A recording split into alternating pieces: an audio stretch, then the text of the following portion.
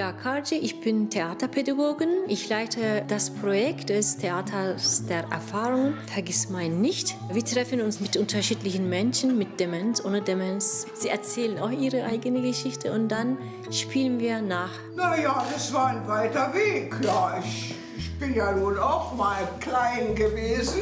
Ich wollte erst gar nicht hin, aber naja, habe ich aber doch noch gemacht, ja. Und es macht schon Spaß. Doch, es macht Spaß. Zumal ich ja mit dem Chor richtig mich zeigen kann. Also das, das kenne ich gar nicht. Früher habe ich das nicht gemacht.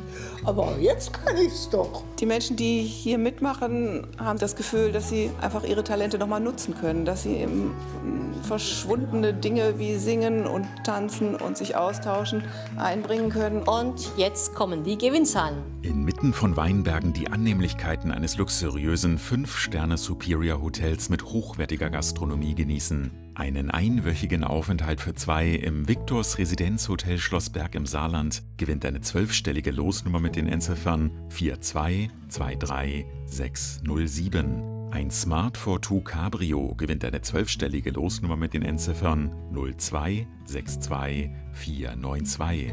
Die Seele baumeln und sich verwöhnen lassen. Eine Wellnesswoche für zwei Personen im Hotel Dollenberg im Schwarzwald gewinnt eine zwölfstellige Losnummer mit den Endziffern 2130893. Einen Smart 44 gewinnt eine zwölfstellige Losnummer mit den Endziffern 2451477. Und 100.000 Euro gewinnt das Los mit den Endziffern 4987155. Und kurz vor der Tagesschau geht es weiter.